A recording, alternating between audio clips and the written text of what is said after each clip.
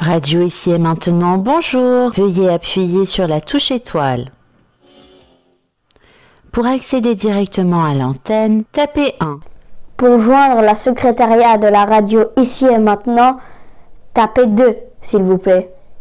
Pour laisser votre message ou avis, permettre sa diffusion à l'antenne, veuillez appuyer sur 3 sur 3, s'il vous plaît, avant l'expiration du délai. Vous avez la parole Vous avez quelque chose à nous dire? Un sujet Une idée?